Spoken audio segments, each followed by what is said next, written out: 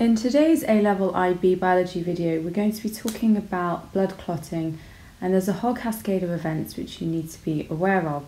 So first of all, why do we carry out blood clotting? Well, clearly if we cut ourselves, we need to have a way of repairing that cut to make sure that our blood doesn't escape indefinitely and that's the whole purpose of a blood clot. So just to summarise, when our skin is cut and blood is escaping, a blood clot forms in order to seal the wound. So that's our overview. That's why we're actually carrying out the process of blood clotting, but how does it actually take place? Well, you might remember from GCSE or IGCSE that platelets have a very important role. Remember that they are small fragments of cell which clot the blood at the site of a wound.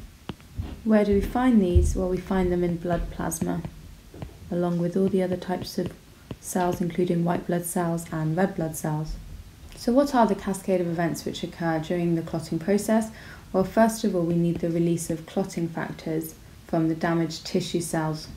Now, one of these clotting factors includes prothrombin activator, which, as the name suggests, converts the inactive form of prothrombin into its active form, which is just thrombin. That thrombin then has a very important role in activating fibrinogen, which is a soluble protein into fibrin, which is insoluble.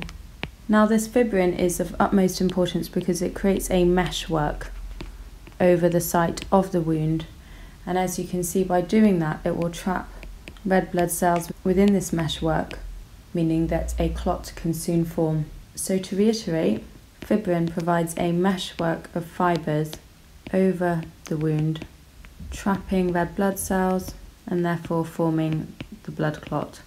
And then obviously if that occurs on your skin, then the air soon dries the clot and you'll end up with a scab, which remember you mustn't pick off because otherwise it will start bleeding all over again. And really just to say something that's pretty obvious, the scab provides a protective layer over the wound.